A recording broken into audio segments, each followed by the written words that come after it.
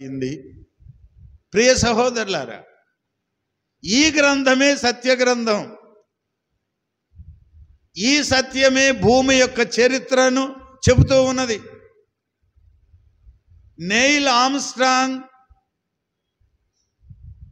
చంద్రుడి మీదకి వెళ్ళి అడుగు పెట్టేటప్పుడు ఏమన్నాడో తెలుసా? భూమికి చంద్రునికి ఒకే అంగ.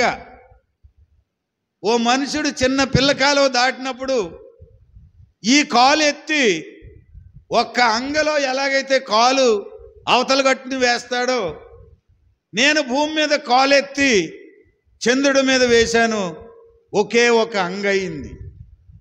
అంచేత ఆ సృష్టికర్త ఇప్పుడు ఎప్పుడు ఈ అందాలను ఇక్కడి నుంచి చూస్తూ ఉంటే మా నాకు నేను భూమి మీద ఉన్నప్పుడు చంద్రుడు ఎలా కనిపించాడో ఇప్పుడు నేను చంద్రుడి మీద ఉన్నప్పుడు భూమి నాకు అలా కనిపిస్తూ ఉన్నది. ఈ అంతరిక్షము సృష్టికర్త యొక్క మహిమని కొనియాడుతూ ఉన్నది. మానవుడు మాత్రమే తప్పిపోయాడు. ఆకాశంలో కొంత లెక్క మీరు తీసుకెళ్ళాలి అంటే ఈ రోజున చాలామంది తయారయ్యారు.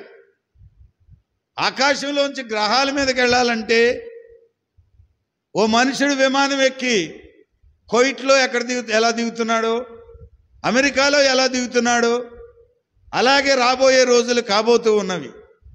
కానీ యావే వారు మాట ఏమంటున్నారు నేను మాట ఇచ్చి తప్పువాడను కాను. నేను ఆ మాట తప్పకుండా నెరవేరుతునని చెప్తున్నారు. ప్రియ సహోదరులారా ఈరోజు వాక్యాన్ని ఎందుకని వచ్చింది అంటే యుద్ధము రాక తప్పదు. ఎరుషలేము దండ్ల చేత చుట్టబడక తప్పదు. యావే తండ్రి అడగగానే ఏమీ ఇవ్వరు. నీ విశ్వాసం ఎంత? అని దానియేల్ని సింహభవన్లో వేశాక రక్షించాడు ఆయన. ముందు రక్షించారండి? తెలీదు. అబ్రహాముని ఆ నిమ్రోద్ అనేవాడు అగ్నిగుండంలో వేసాడు అబ్రహాము అబ్రహాం అన్నగారు వీళ్ళందరినీ వేసేటప్పటికి ఆ వేసేవాళ్ళే చచ్చిపోయారు. అగ్ని కీలలకి తట్టుకోలేక. ముగ్గురు తిరిగారు అక్కడ. ఒకడు చనిపోయాడు. అంటే అబ్ర అబ్రహాం గారి యొక్క లోతు తండ్రి చనిపోయాడు. అబ్రహాం గారు ఒకడే తిరుగుతున్నాడు. ఈ రాజుగారు పైనుంచి చూస్తున్నాడు. తీయండి బయటికి అన్నారు. తీయటానికి వెళ్ళి ఎనిమిది మంది చనిపోయారు. వాళ్ళు కాలిపోయారు. ఎవరు వెళ్ళినా కాలిపోతున్నారు కాబట్టి రాజు ఏమన్నాడు అబ్రహామా పైకి ఎక్కిరా అని అన్నాడు. అబ్రహాము బట్టలకి కనీసం ఆ మంట వాసన కూడా అంటలేదు. అంచేత వస్తానన్న మెస్సీ వారు డెఫినెట్గా వస్తారు తిరుగులేదు నమ్మువాడు రక్షింపబడతాడు. నమ్మనివాడు శిక్ష శిక్షింపబడతాడు. అదే ప్రకటన గ్రంథంలో పంతొమ్మిది పంతొమ్మిది చదివి ముగించేసుకుందాం.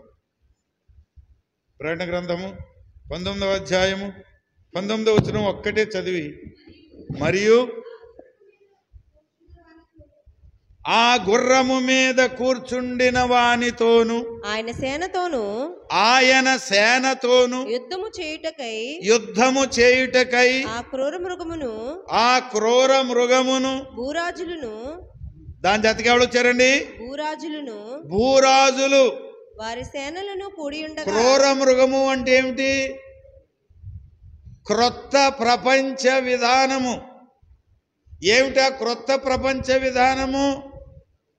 అందరూ ఒక తండ్రినే సృష్టించాలి.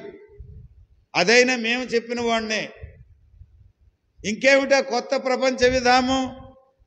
అన్ని దేశాల్లో ఒకటే కరెన్సీ ఉండాలి. ఇంకేమిటా కొత్త ప్రపంచ విధానము? అందరూ ఒక్కరోజునే ఆదివారమే ప్రార్థన చేయాలి. ఇంకేమిటా కొత్త ప్రపంచ విధానము? ఇవన్నీ కూడా అందరికీ కార్డు ఇస్తారు. ఆ కార్డు ఎక్కడికి వెళ్ళినా ఇంకేమిటా కొత్త ప్రపంచ విధానము? ఎనభై ఏడులో ఇవి తయారు చేశారు రోమన్ క్యాథలిక్ మిషన్. ఆగస్టు పదిహేడు పంతొమ్మిది వందల ఎనభై ఏడులో ప్రపంచమంతా ఒకే బైబిల్ ఉండాలి. ప్రపంచమంతా ఎవరు ఎక్కడికి వెళ్ళినా పర్లేదు. అందరికీ అన్ని దేశాల్లో ధనం ఇస్తారు కోటా ఇస్తారు కావలసిన సరుకులు ఇస్తారు.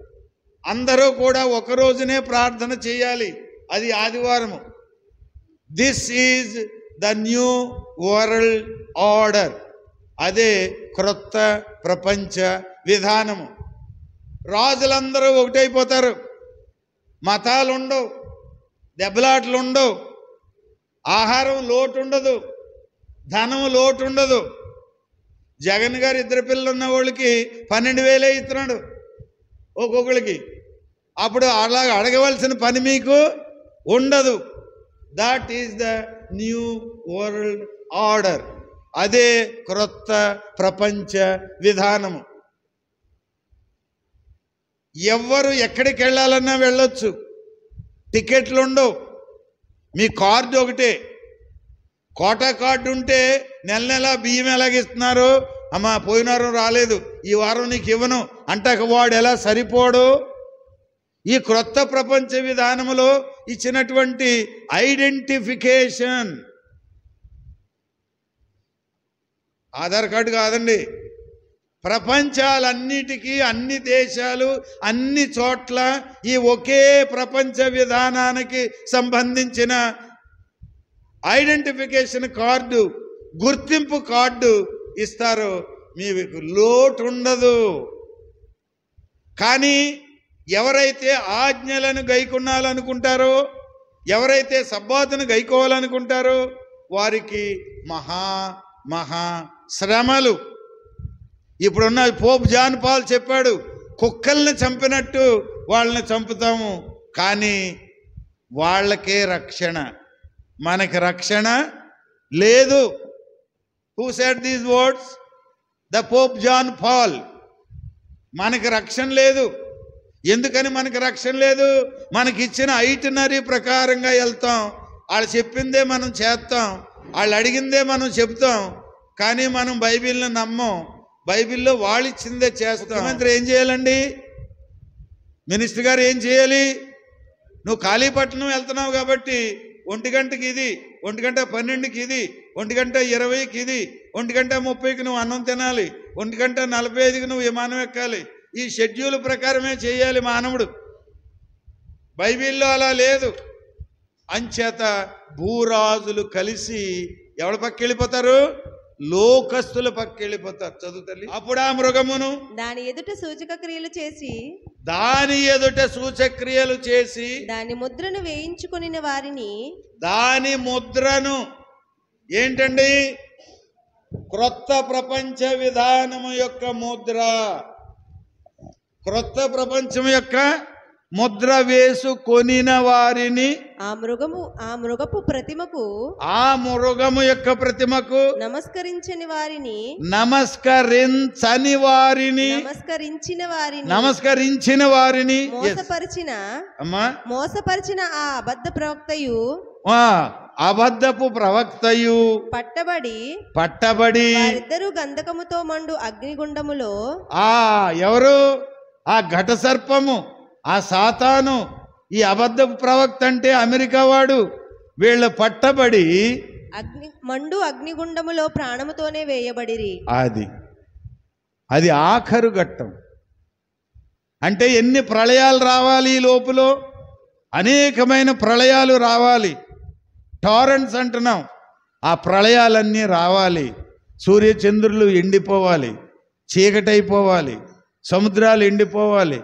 ఒకటో రెండో తిమింగ్లాలు చచ్చిపోతే పెద్ద స్ట్రై- సమ్మె చేస్తున్నారు ఇప్పుడు. మొత్తం అన్నీ చచ్చిపోతాయి. మనుషులందరూ పోతారు. ప్రియ సహోదరులారా అది ఆఖరున వాళ్ళ శిక్షకి వాళ్ళ పాత్రలు అవుతారు. అప్పుడు ప్రారంభమవుద్ది ఆర్మెగదోన్ యుద్ధం. ఇంత తేలిగ్గా రాదు. ఇంకా చాలా ప్రవచనాలు ఉన్నాయి.